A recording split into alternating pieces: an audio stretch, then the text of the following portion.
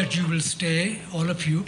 But if you have to leave, uh, I would invite you to take a copy of the flyer and uh, please spread the word. I don't have 150 million dollars to budget it.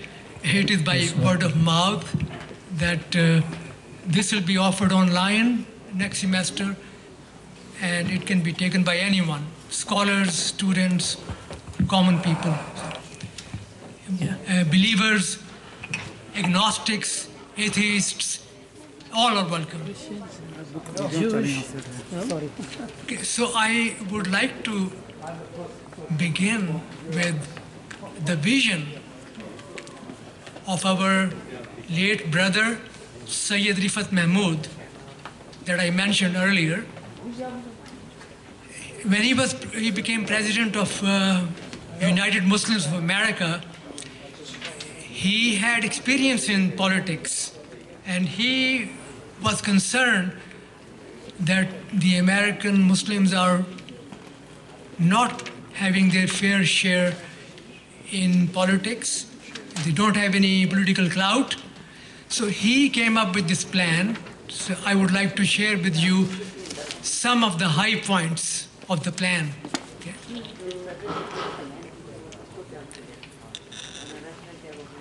So he mentions what is the mission.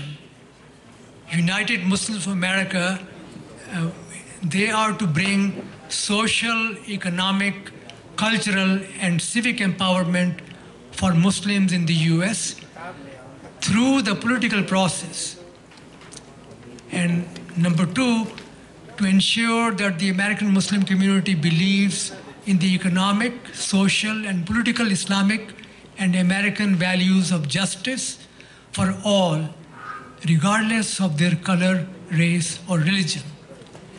And the plan that he had consisted of these steps. Number one, register to vote.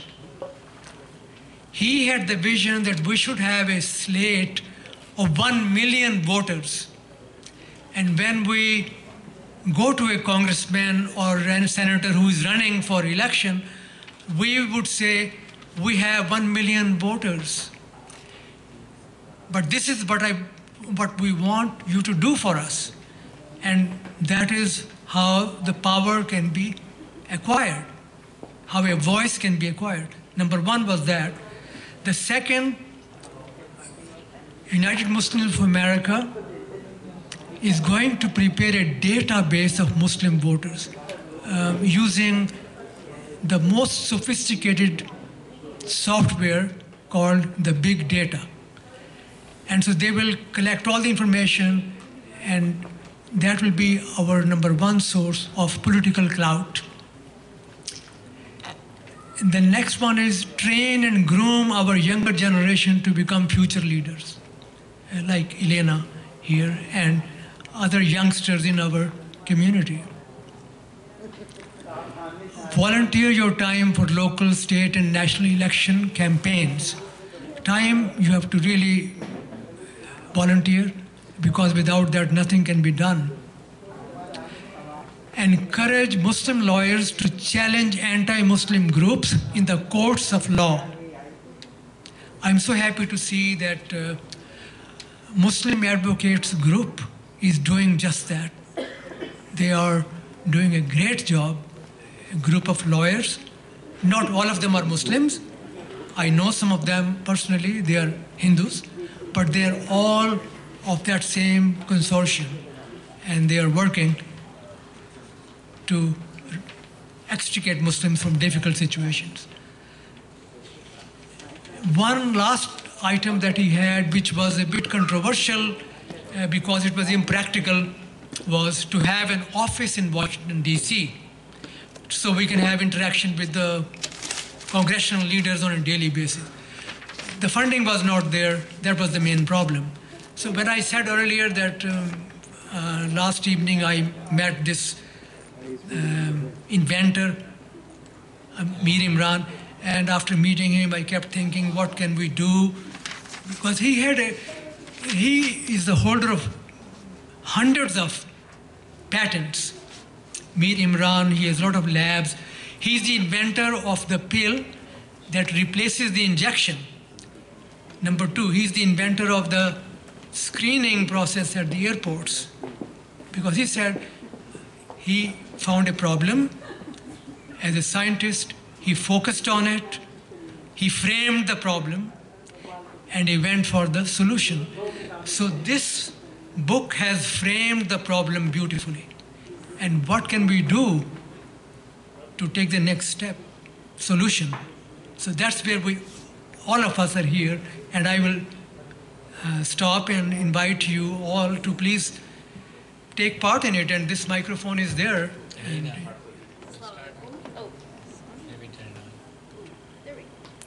Hello?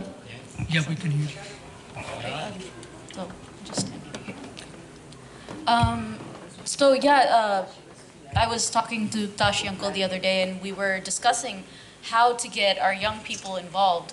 Um, and I did a lot of thinking about this. I feel like, um, especially as a first generation um, immigrants, um, we have a completely different idea of um, how to approach things.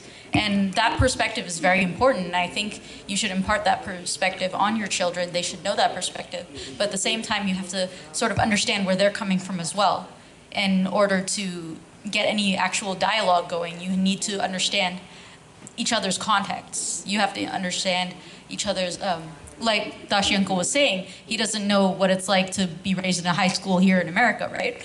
Um, and I think getting a nice, clear dialogue going is very important. Important. Um, I don't know if uh, how many of you have toddlers or have had toddlers, but um, if you tell not a toddler, but like a young child, maybe five or six, if you tell them no, sometimes they ask why, right? So if they're gonna say why and you just say, oh, because I said so, they're gonna continue asking why, why, why, why, why, and until they get tired or until you get tired and say go to your room. You have to answer that why. You have to give them context. You have to give them some more credit, especially with your older children. Give them some more credit that they can understand where you're coming from if you just break it down for them. And you should do the same to them. You should try to see where they're coming from.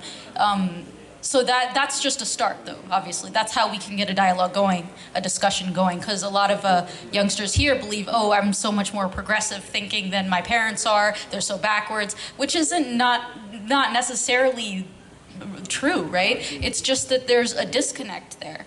We have the same kind of values, but we need to come from a place of more understanding. And from there, we can actually start talking about what we can do. Um, and uh, yeah, so if uh, we can get that dialogue going, we can get more people understanding. We can encourage other parents to get that dialogue going um, with their children, with um, with uh, in our communities as a whole. Um, and I think that's a good first step. Um, yeah. Yes. Uh, most of the youth doesn't come here, not to the Chandni that I've seen. Oh. So, um, so thank you, sir. Most of the youth, I don't see them coming to the Chandni programs because these are mostly for the adults. Yes. Uh, so, how do we get to them? How do we get to your generation and above and below? People that are a little bit older, a little bit younger. Yeah. Uh, that that's an important question because I've been trying very hard uh, for many years, but not successfully. So, can you guide us, help us? How do we do that?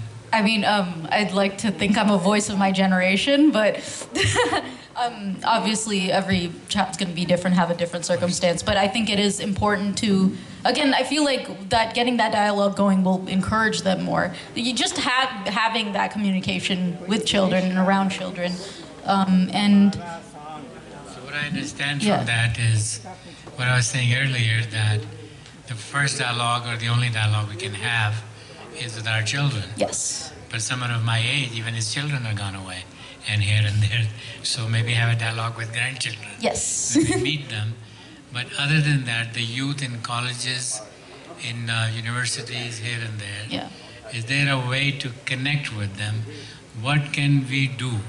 What type of things can we do to attract that generation to come and maybe give us an opportunity to sit with them and try to find out and have a dialogue? That's what I was. Yeah, to get them there to yeah sit down. That's true.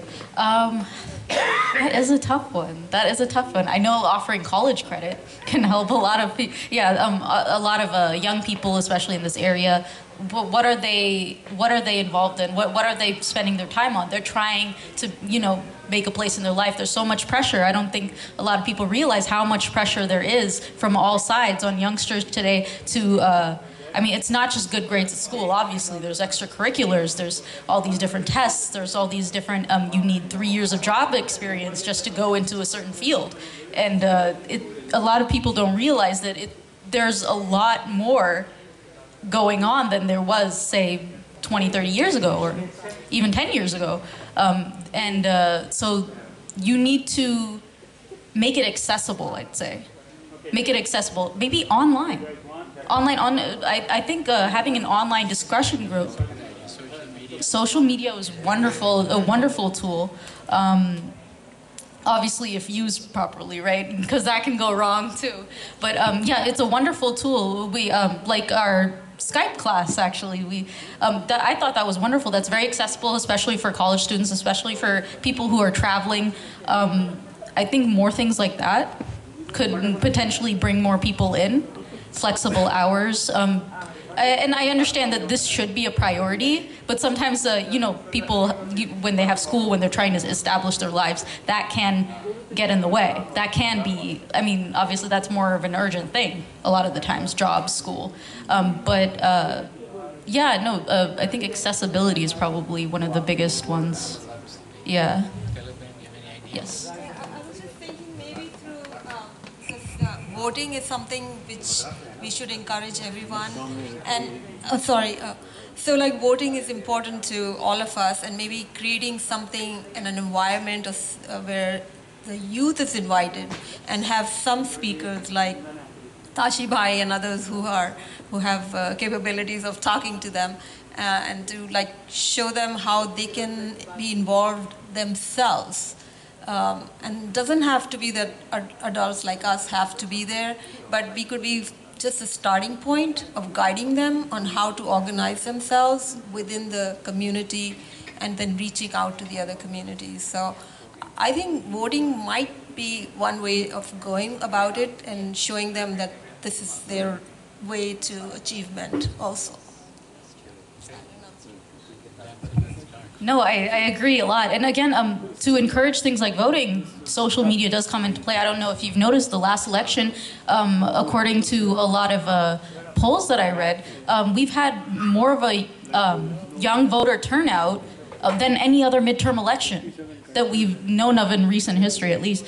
Um, and that's that's a lot of it has to do with how much we've been promoting go vote your voice matters and the more we encourage kids, kids telling them there's hope there's a chance that you can actually make change and that your voice does matter especially with social media. Someone who comes from nothing they can the whole world can see what's going on in their lives and the situation they're in um, because we have these tools now. And i think that's amazing that people from poverty children from poverty they can show people they can show the world what's going on directly they don't have to have money a lot of times. I mean, num- internet connection and maybe some source, but um, there's so many sources and things available, tools available for to give voice to the voiceless now.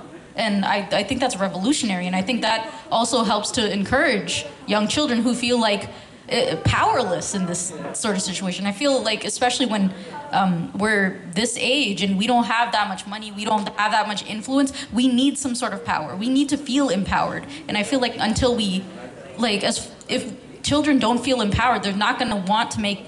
It's not that they don't want to make change; they just don't think that they can. So that is important to encourage them, tell them this does make a difference, and your voice does matter. It's not something that will be ignored. You can make a change. Don't keep telling them depressing things like nothing is going to happen. You just have to live with it. Oh, leave it to God. I mean, obviously, God's taking care of us, but we have to take care of ourselves too, right? Yeah. Yeah. yeah, sorry. Yes. So one more thing, like I think, like what your point with uh, saying that, like empowering the youth is very important because there was one thing where President Trump said that it doesn't really matter what the youth think about gun laws, right? And uh, I don't know if you guys know about Trevor Noah, but he's one of my favorite like uh, public speakers.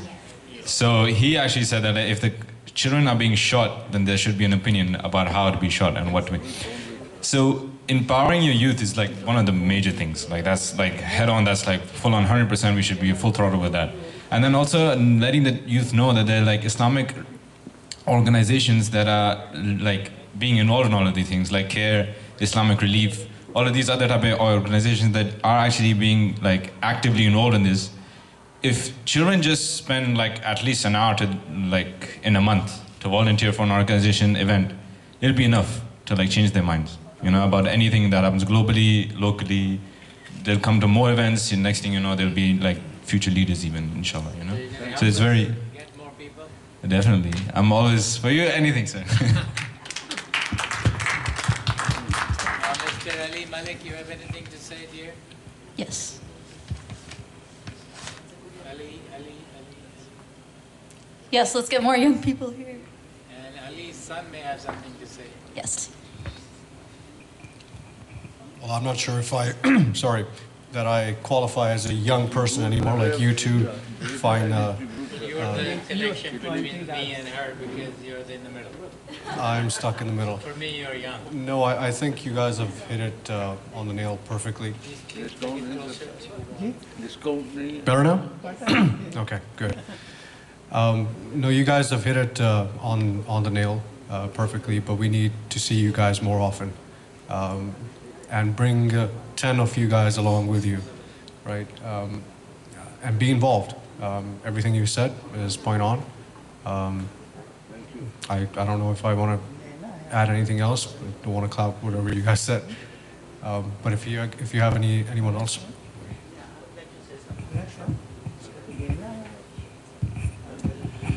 तो आशी भाई youth को involve करने में हम parents की भी सबसे बड़ी जिम्मेदारी है जब हम अपने बच्चों को लेके इन छोटी छोटी जगहों पे वॉल्टियर करेंगे मस्जिद है, केयर है, ओपन है।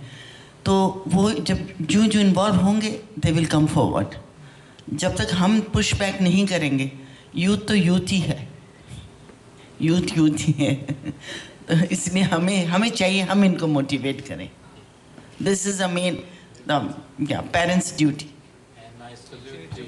doing that. yeah, i did to my son, that's why. Practical example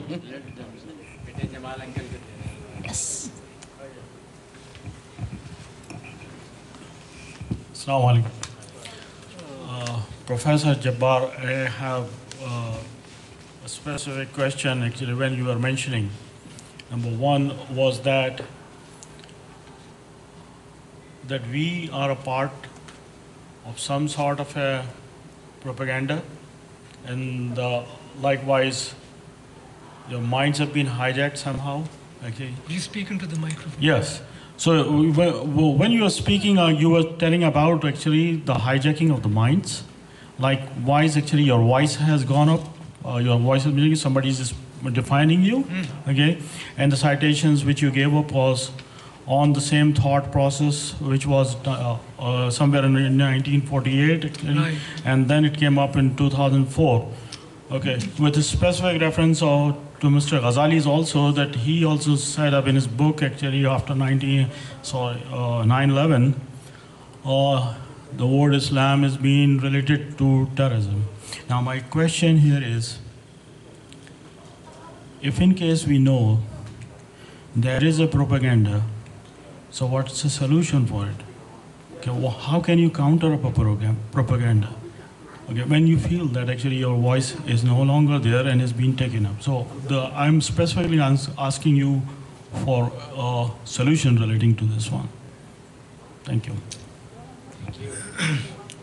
yeah, I wish I had a simple solution, but uh, you know the work that Ghazali Sahib has done already in documenting in a book, which is publicly available, that is a step in the direction. And then we have to publicize the book.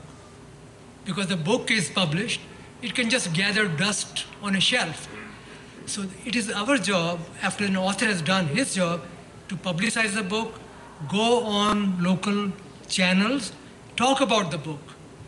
and then talk about the courses that I have designed, I'm teaching. People who only who take the classes know about it.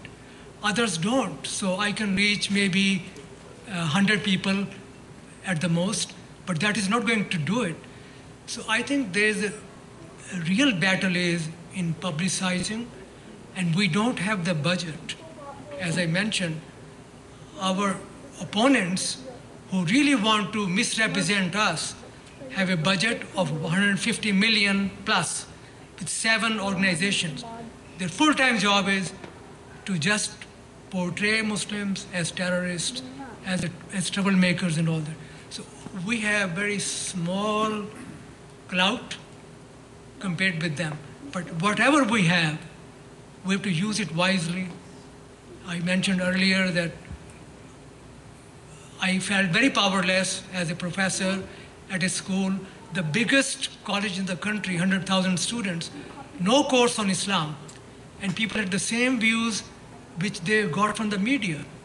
They don't have time to research. They just are fed some information by the media, they absorb it and they say, oh, that's, they have the truth.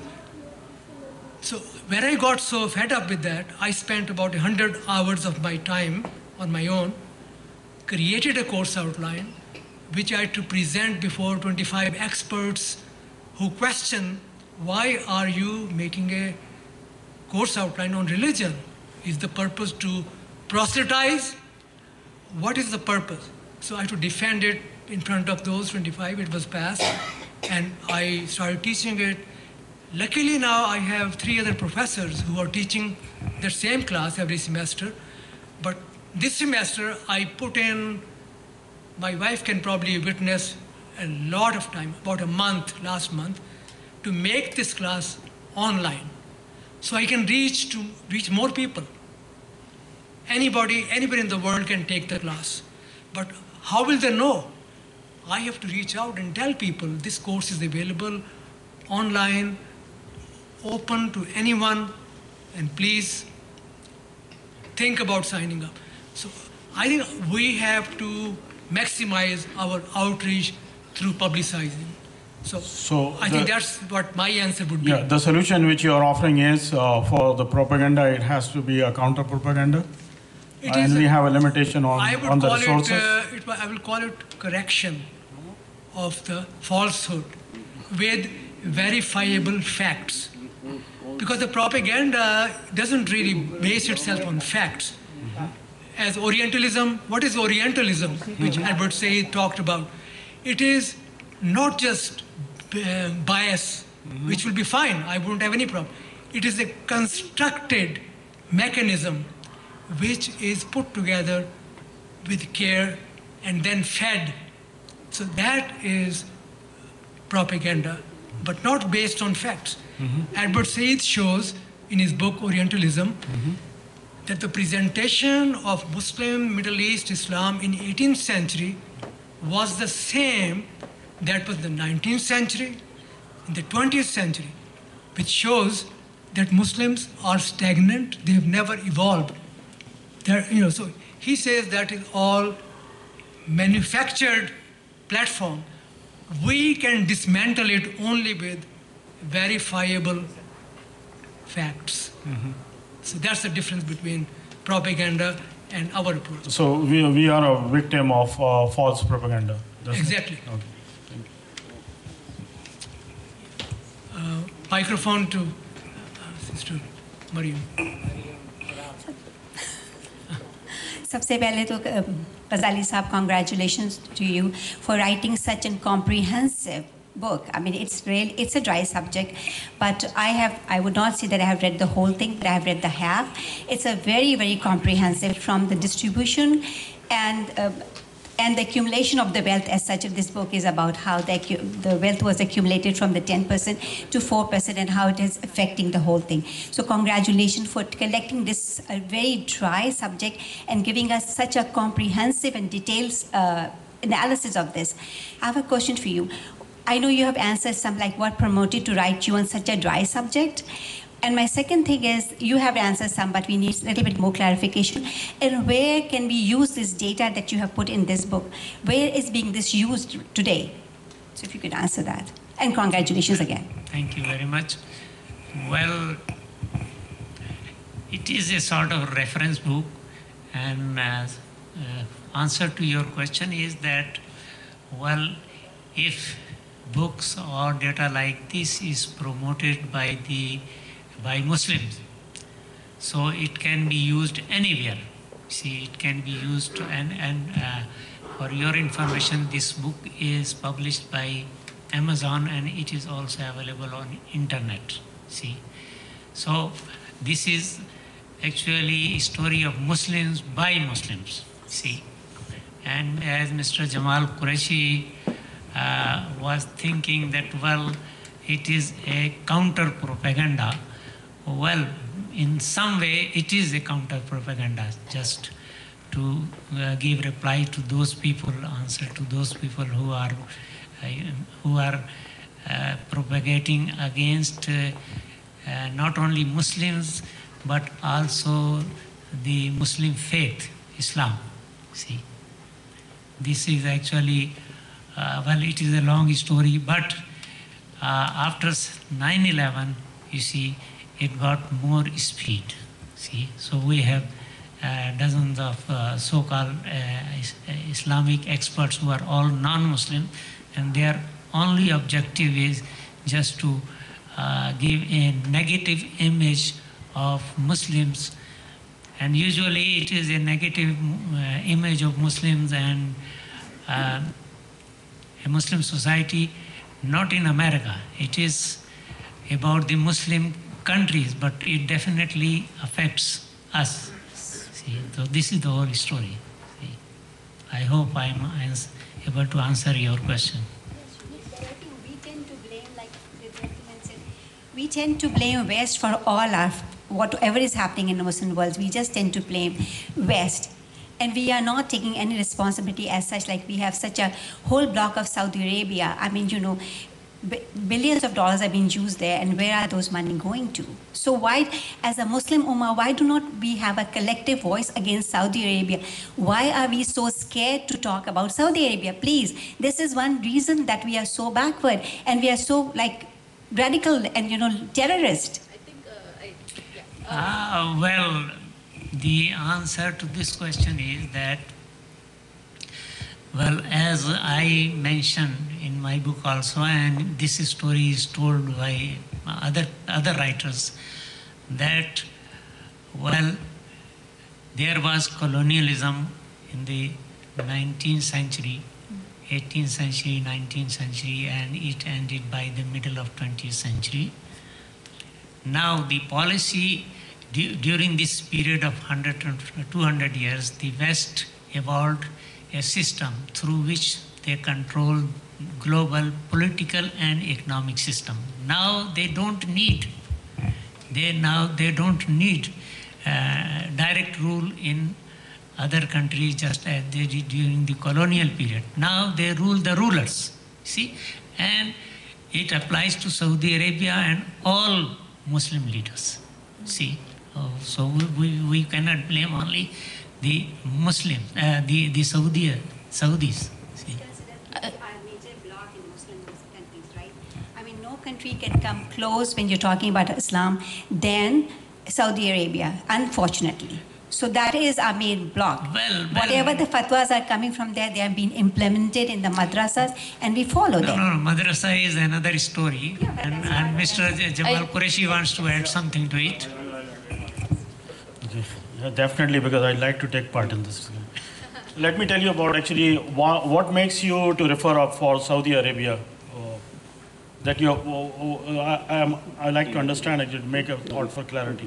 What makes you, sorry, what makes you to think about uh, that Saudis are the bad people? Well, sorry. But I do, I do differ with the Saudi uh, policies. I do differ them with passion because all the fatwas are coming. I mean, we are not talking about right. Of course, we are, we have a little deviated from the subject, like how the West has been using um, the Islam versus. So right now in Muslim Ummah, everything that's come from Saudi Arabia and from the clergy is taken as the most authentic words. Nobody is there, and people are not understanding. The Muslim Ummah in common do not understand the difference between the royalty and the clergy. Right now, we do not even want to say a, a word against the royalty, thinking that we are talking about the Islamic. You see, so this is this is the main thing we have here, and that's what I think. When I right now, the billions of dollars that are being used by the Trumps are being used on Germany's. So I mean, right now, why we not get, talk about it? Why have why we tend to feel so shy to talk about Saudi Arabia's role in Muslim world? How many times you have been to Saudi Arabia, ma'am? Three times. Three times? Very disgusted every time I go. Okay. Uh, uh, in, uh, uh, what was the purpose of your visit? Well, why do you want to ask me? I'm just. I'm, I'm Yeah, I'll tell you about the clarity uh, to make the thoughts about it. I, I see one. minute. No, no, I'm not integrating here. No, do ask me my personal question. I've been there many Wait, let me answer. And I visited many other Yeah. Okay. So. you know, So, Jamal Sahib, if you could just please uh, give us your mind, yeah, I'll, I'll give that you. will one. be appreciated. Yeah, yeah, thank you. Well, first of all, actually, let me tell you about which we going up onto the main subject line. Actually, on the talking of the war, the things of propaganda. I also think that actually this is a part of a propaganda also. But yes, the last 25, 30 years, I'm traveling to Saudi Arabia. I do a major business on on this one. Okay, the fatwas and other thing talking. Actually, I don't think so. It's going on for this. Uh, Saudi Arabia has developed him uh, itself. Actually, there are more than uh, every year actually uh, a new school has been opened in Saudi Arabia. Their universities actually like the King Saud and King Faisal universities. They all they have of their own engineers. About 4,000 scientists actually are there. So entire Aramco and SABIC is being managed by Saudi Arabia. So Saudi Arabia is not like this one that they don't know uh, anything about it and they are uh, riding on camels. Now coming to the main point actually for the part of the propaganda. Okay, I as a Muslim, I've been born up in India, okay, and I have faced up these things from my school. The first thing is this that the Muslims do not take bath, they take up once in a week. Uh, that was also asked in my class actually.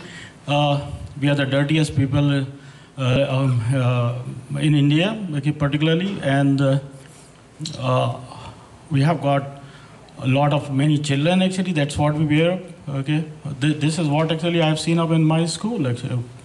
And uh, the woman uh, all the time actually is being suppressed actually. So from from where these thoughts were coming on likewise actually just now you say there are people actually sitting here sitting they have the budget and this one and that they have to release up this this propaganda.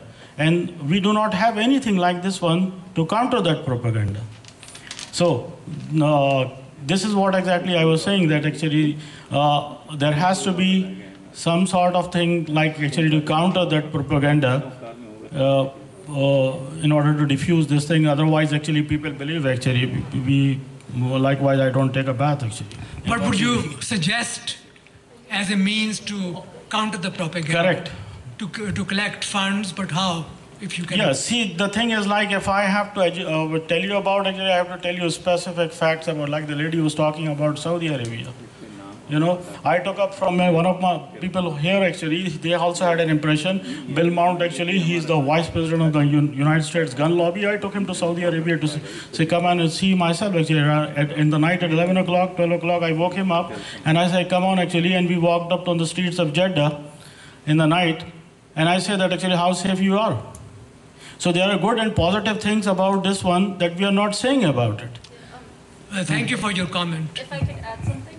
Um, yeah, if I could add something, I think, uh, I think what people need to understand too is that uh, critis- uh, certain criticisms aren't necessarily taking away from the positives. You, I think uh, all we should really be looking for is what's true, what's fact, and just uh, and try to separate them. I mean, obviously, we have even here in the US, we obviously have a very orientalistic view of our own home countries or other Muslim countries. In actually, I've noticed quite a few uh, views of this, uh, views like these are particularly of countries you don't hail from. You're talking about other Muslim countries out when you have no idea what's going on there. You don't live there, you don't grow up there. And I understand criticisms. It's fine to criticize, but you have to understand the context. There's always context involved. There's always um, things that we are missing, blanks that we need to fill in. So I, it's fine to criticize, but I think we need to have a more, we need to have more understanding overall, just of what's going on. And I feel like um, your book does a great job of trying to start unraveling that. So yeah, I yeah. Any other comments? I just want to very briefly refer back to empowering the youth. And I want to ask you, Elena, if it will be a good idea for us to pass the burden of our conversation today to the youth and ask them to please come up with a solution instead of instilling any ideas in them. I, I think it because it's not that uh, the older generation is gone. We're, we shouldn't treat you like you're gone. I feel like um, ev- a- again it has to do with context. We have to know history to be able to change anything. And if we're just going to ignore everything from the past, we're not going to be able to change anything. So I feel like it needs to be a cooperative effort. We both need to work together. It's not that we one side imparts knowledge on the other. It should be it should go both ways. We can give the youth the book, Ghazali Saab's book. Yes. So that gives all the information. Yes. And it is framed. The question problem is framed beautifully. Yes. Yes. And definitely. the solution has to come from the youth. You know, why no? Why not? They they are capable of coming up with something probably more innovative than our solution. I, I, I think part of it is also which um, that I, I'm not saying is a, a normal thing amongst the culture as a whole, but we tend to disregard youth ideas and shut them down as like individuals, like your own kids sometimes, right? You want to believe you're right. You think, okay, maybe they're coming from a good standpoint, but they don't really understand what's going on, so they're not giving us the right answers. That's why I feel like a, it should be a collective effort hmm. because I feel like, again, there's blanks that are missing. There are context is important. We need to see things from both sides to come up with a collective solution. I don't think if you just hand the problem to uh, children, they're not gonna, or not children, but young adults, uh, they're not really gonna understand every single thing. They're not gonna really feel it the way you feel it. They're only gonna feel what they feel, what's going on currently. But the past is very important. So that's why I think a collective uh, solution is more of a good, yeah. You. Make a comment. Uh, uh, what Mariam was saying exactly is the problem that we shouldn't be afraid of criticizing any government that does something that Saudi government did in Turkey recently. Yeah. Why, why are we afraid to speak up about that? I don't understand that. There should be no fear. I really feel very sorry for the Prime Minister of Pakistan, Imran Khan, whom we all supported, for being in that situation Yeah. where he cannot condemn. At heart, he condemns it, but because he's trapped financially, he cannot. I really feel sorry for him. But what happened in Turkey made my job of teaching the course on Islam 100% more difficult. Yeah. Okay, because my students ask me, well, we hold up Saudi Arabia as the arbiters of the Islamic world. They are the custodians of the holy shrines. And then their fatwas are law. Of course, I give them a very short answer. I just say, I condemn what they did. Anything like that is worthy of condemnation. But ask your government, don't ask me. Ask the US government. Why, what is their position about Saudi Arabia? Of the 19 hijackers, 16 were from Saudi Arabia, and we went after Afghanistan, Iraq, destroyed hmm. them. Saudi Arabia is totally unharmed. What's the policy? So I handle the students' question, but it makes my job very difficult. So hmm. I think we really should not mince words when it comes to some brutal, blatant, Yes. obscene kind of behavior as we witnessed in the Saudi government's execution of that journalist. Yes. Yes. I'll just add to that, that when I said look at ourselves, are we, are we really practicing Muslims? Yes. And again, by practicing, I don't talk about prayers. That to me is a very personal affair between you and the Creator. What I talk about being Muslims is what does it mean to be a Muslim? And the things that come to my mind is speak the truth, even if it goes against you or your loved ones. So that is what being a Muslim is about. And if you're afraid to speak the truth because something will happen, then I don't think we should consider ourselves Muslims. That's the first thing. If it's my son does something wrong, my wife will tell you that I'll be the first one to call the police and hand him over to the police for doing something wrong. Because I will not protect him. If he has done something wrong, then I have failed as a parent to raise him right and he need to face the consequence. Accountability. It's Accountability, absolutely. And same thing for me. If I've done something wrong, I should be accountable for that. I think main thing, accountability has disappeared from the face of earth. We can do anything we please, and there is no accountability. For 30 years, these people have sucked the blood of Pakistan. And who is accountable? Anybody who comes and who rules must be accountable. Yes. But we have become so insensitive to that. Even the people who were destroyed, whose families and generations will, were destroyed, they're still willing to vote for the same people. I don't understand that. Where does that come from? So things is that we need to, I think, in my humble opinion, our worst enemy is ignorance, illiteracy. We need to make sure and make every effort to bring people to literacy, at least to be able to read a newspaper. Our literacy rate in Pakistan is 15% today. It was the same in 1947. So, what has changed? If anybody was sincerely interested, anybody who's helping Pakistan should place a condition, if they're sincere, that we will give you the next money if you raise your literacy rate. But that is not in their best interest. Again, I'm not the one who blames others. I'm the one who blames myself first and my community first. If we need to change, we need to change right from here. Change starts from home. I need to Start change with the myself, man in the mirror. and our community will change.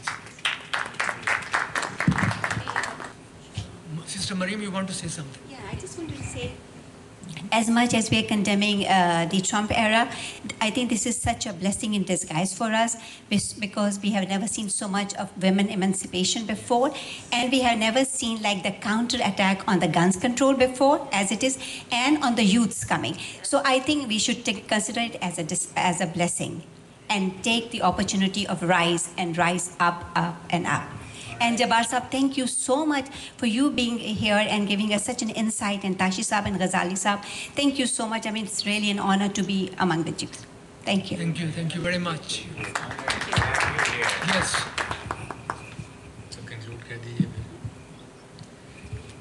If uh, there is no other comment, uh, I would first like to thank you all for making the time to be here and staying after the formal presentation. And I really was very inspired to hear all the comments and great ideas. And inshallah, we will try to implement them in the way they should be implemented. And we continue to count on your support. We cannot do without you guys especially the youth. Okay, so thank you very much again.